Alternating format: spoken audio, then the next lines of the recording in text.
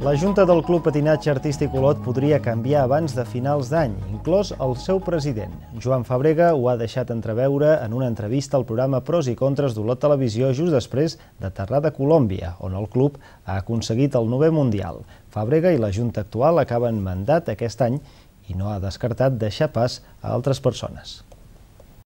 La renovació hauria de ser, en tot cas, a principi d'any, si es Sí, produeix. sí, sí, no? penso el mandat que- acaba sí. febrer-març? Sí, febrer, Febrer, però jo penso que eh, si hi ha d'haver un canvi ha de ser abans de començar temporada, que seria el més lògic que ja comencéssim temporada mm, d'una manera o d'una altra.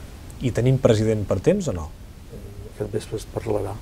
No es pot dir res encara? No, de moment no.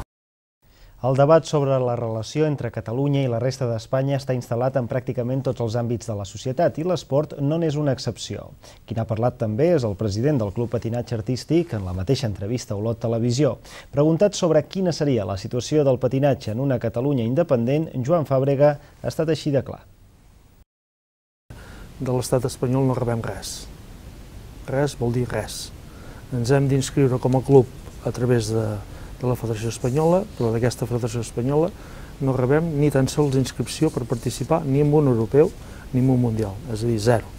Econòmicament no rebem zero, per tant, penso que la definició és clara. No? Després de Nova Zelanda, el mundial següent havia de ser a França, i bueno, França va renunciar per motius econòmics i vam anar, vam anar a rebotir a Xina, a Taipei. Ens haurem de sentar eh, tots els clubs implicats i totes les federacions i fotre un cop de puny sobre la taula i dir, bueno, sisplau, eh, ja n'hi ha prou, no?